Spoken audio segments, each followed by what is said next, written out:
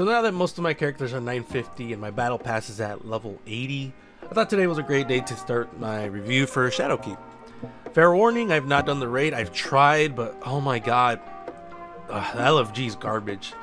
Uh, so I won't be judging the raid, even though I do have more positive than negative. So, with that being said, I will start this review with a conversation I had with my girlfriend recently. She was asking me what's new in Shadowkeep, and this is probably like the second day that Shadowkeep was out, and I told her we, go back to the moon, and she immediately, without missing a beat, reacted to, "Oh, the moon." So nothing's new, and it kind of stopped me. I was like. I, I just couldn't respond because I'm like, yeah, I mean, we do go back to the moon, which is, I'm not gonna say it's recycled, gar- recycled content because it's not, but it feels, it, it also does feel that way. So, let's first start off with the fact that I will be judging Shadowkeep with uh, Season of the Undying because they both do take from each other. Like Season of the Undying has the raid, but Shadowkeep has like the Eververse armor. So there's a bunch of stuff that's like, well, it if they just called it Shadowkeep, then it would have been like, yeah, this is a fine DLC. But because they said they said it's a season and a DLC, I thought it would be bigger. It doesn't feel big for me. And I'll show you guys why in a bit. So first, we're gonna start off with the campaign, and I'm gonna be real with you guys. The campaign is uh, super pathetic. Oh my god. I'm not talking about content wise because the content of the campaign is great. It, it's really cool. Like a lot of lore. Eris is back. Uh, spoilers and stuff, but the content of it is really cool. It's just the length of it is so like unbelievably fucking bad. Like wow. I was just I was blown away. I was like, wow, like y'all really did this. Y'all really did this, huh? Like y'all really had the balls to do like two, three missions. And the bulk of the of the campaign is just me doing quests. Or like not quest, I'm sorry. Bounty type quests where it's like, oh yeah, you did this. Cool. In order to get this gun, you're supposed to get you're supposed to do activities and then collect this one thing and then get a like what was it 25 kills with this gun or 50 kills. And I remember thinking, I was like, this is cool. This is, I don't mind this for the weapons. Until I started doing the activity stuff, and I was like, wow, this is a, this is garbage. I have to do like, I have to do five heroic events because each gives me 20 percent, or I can just go around the moon and collect material, which gives me like four or six, depending how much I get and I can just kill that way faster and I'll be getting material while I'm at it. So immediately the armor, the weapons, I was just like, okay, I hate this. This is the, the activity thing is just garbage. And then uh, the armor is just like kill a hundred Vex and uh, you know, uh, whatever they're falling. And I was just like, wow. So this is how we get the armor. Because I remember what's his face? Uh, the director was saying like, oh yeah, Luke Smith. He was saying like, oh yeah, you're gonna be able to get better weapons and stats and all this from this one event thing, and they showed.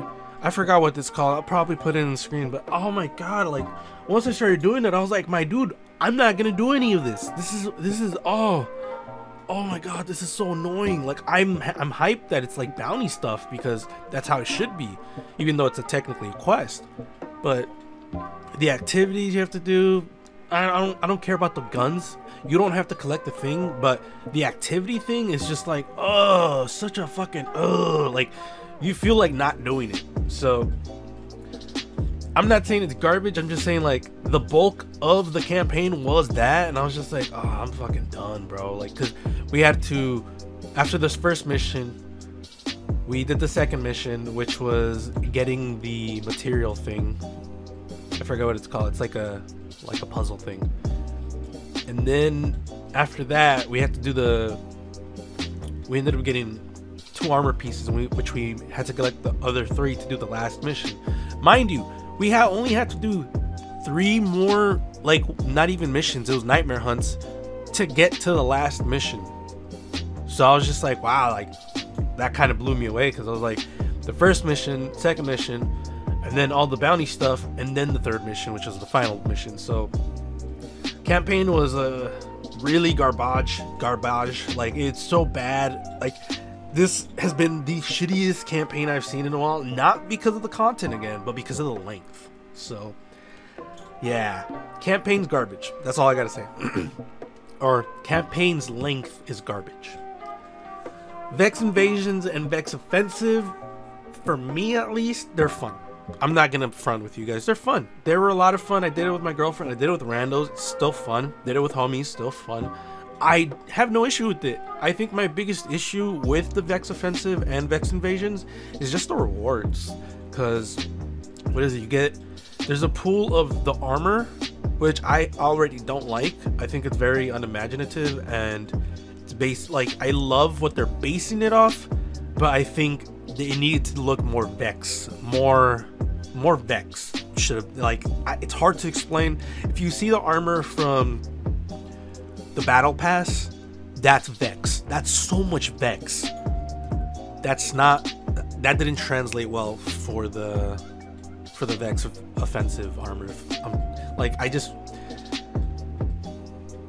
I just wanted it to look more Vex because I think the idea of like your armor having like moss and like grass coming out. I, I think that was cool. I think the grass and moss should have changed colors with your shaders, but I, I, that's such a really big nitpick for me. So armor, I think is really disappointing. Weapons, I feel the same way. Grass and moss should have changed color. Not only that, but please, come on, you guys should have given us a new weapon, like a new weapon model.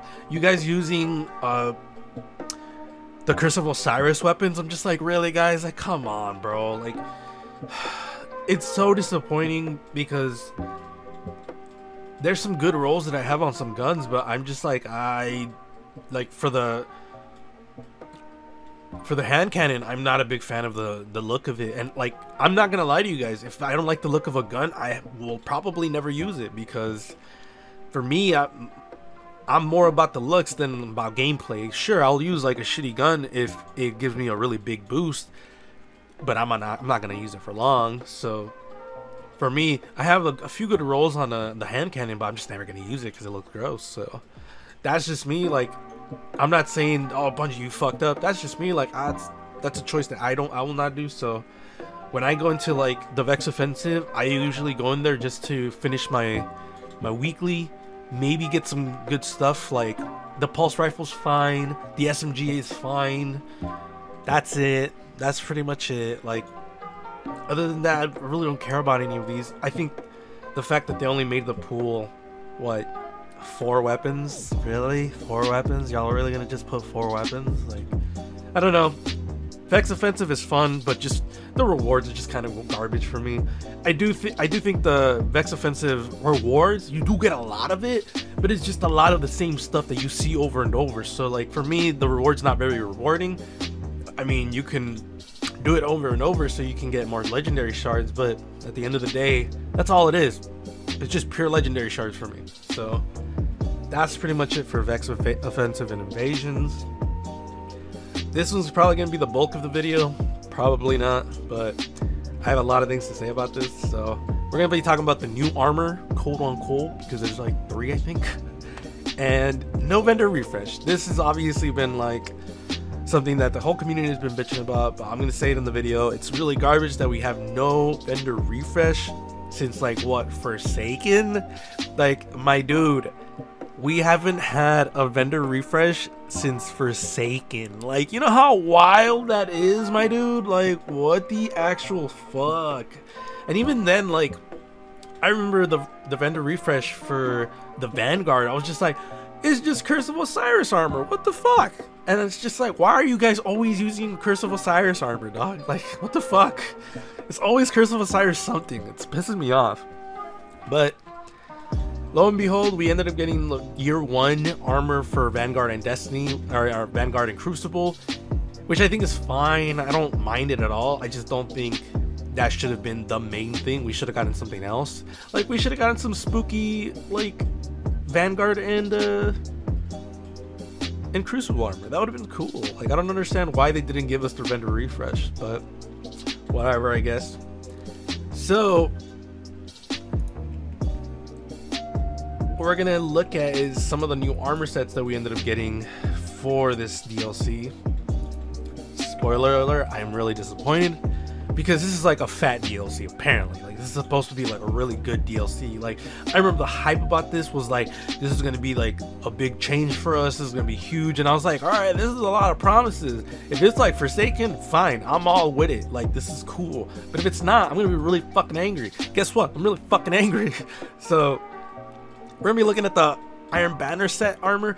We're getting this in Tuesday. Today's Saturday or Sunday. I don't remember, but the Iron Banner set we're getting it, Iron, Iron Banner armor set we're getting, I think it looks super basic. Oh my god, every every class has like every class has an like the armor just looks basic as fuck. I'll probably put the video up hopefully, but it just looks so like basic as fuck, bro. And I'm just I'm so disappointed cuz like it just it just looks like it's so hard to put into words like it's like they asked the guys like oh yeah you guys need to make some armor. Oh okay cool. But make it like really boring. It's like what? It's like yeah make it really boring. It's like why? You don't don't don't question me. Just make it boring. Like oh okay cool whatever. That's just how it feels. I'm not really a big fan of the iron banner set armor set but i haven't been a fan of the armor set like the whole armor set since like since the third season, the named lords are ornaments. So I think that was the last really good armor set that we had. Other than that, everything else has just been kind of like boring or like parts of it I liked. The next armor set is the Dreambane armor set, which is the armor set you get from the moon. Um, nah, nah, I'm not a big fan of it either. I mean, don't get me wrong, it's cool. I like pieces of it for sure. I think the Titan's uh, mark is awesome. I think the Hunter's mm, cloak, I guess, is cool. The Warlock's band is awesome. I think a few of the things are cool, but in total, the armor is just kind of really lackluster, in my opinion. So, not saying it's a negative, it's just not my personal taste. I know a lot of people actually like it. So, I'm not putting that as a negative because at the end of the day, it's very taste. So whatever. What I do think is garbage is the raid armor. The raid armor is very garbage. Oh my god, I, whoever you are, I don't care. You can fight me on this, man. The armor is garbage, bro. It's it's reskin, and I know people are gonna be like, it's not reskin, man. There's a lot of different things. Cool, I got you. There's a lot of different things. The base armor is a copy of I don't even have the armor because I wasn't playing that season, but it's uh, it's the armor from again. What the fuck, Curse of Osiris? Why why are we getting Curse of Osiris stuff, bro? I don't understand. That's not, that wasn't even a good DLC. That was the worst DLC in the fucking game's history. So for me, I am in no like no rush to do the raid, which is so weird because I've always been in a rush to do every raid that's ever been out, except for like maybe a few. But for me to be like whatever, and apparently this is a really fun raid too. I'm just like, I mean, like, why do I want to do it since the raid armor is just so like, it's so gaga, bro.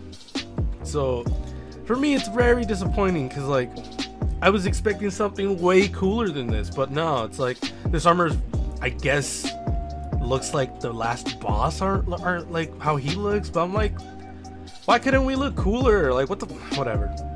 Raid armor disappointing. So we also ended up getting a few armor pieces that are not new, like the Red Moon Phantom suit. I know a lot of people are gonna be like, "We got that." It's like, no, we didn't because that's a Forsaken exclusive for play, PlayStation 4 players. And even then, this is kind of a reskin as well. So it's a reskin of the first armor we get.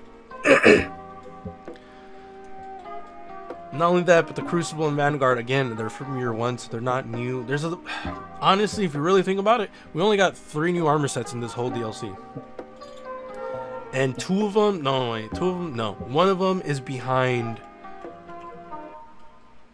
One of them is behind the season, the I'm sorry, the battle pass, and then the other one is behind Eververse. That's why not I didn't put them on the list. But other than that, that's pretty much it. It's just Iron Banner's armor, Raid armor, and then the Moon armor. Which I'm gonna be honest, I was expecting more armor. I was gonna, I was expecting like minimum five pieces of armor, six hopefully, but like three is just especially for someone who likes to look really, really get into how I look, three pieces of garbage. So that's how I feel about that. We're gonna get into mods. Mods are annoying. I hate them.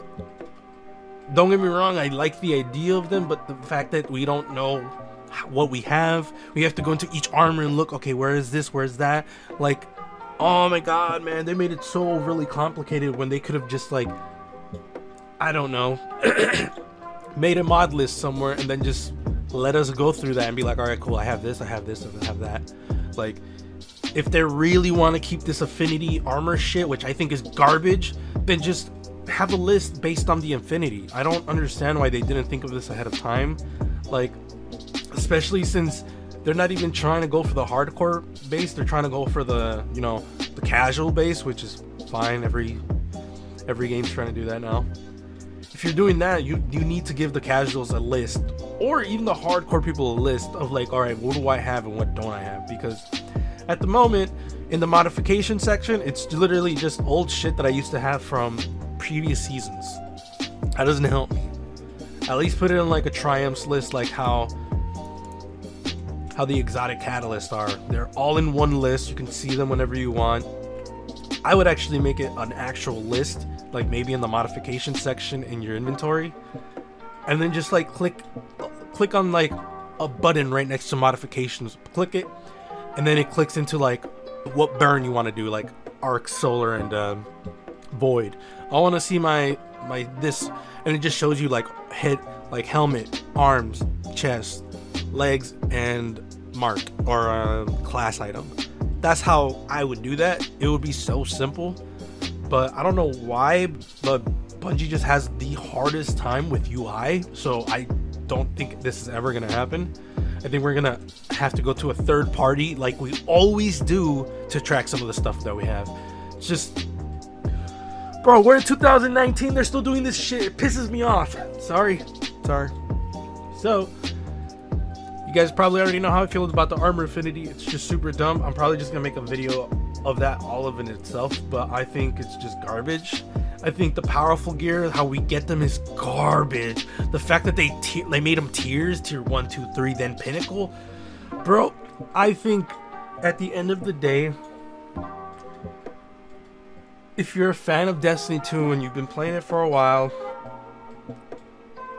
it's a DLC that's worth it. Question mark it's so hard to say because most of my friends don't even play Destiny 2 anymore.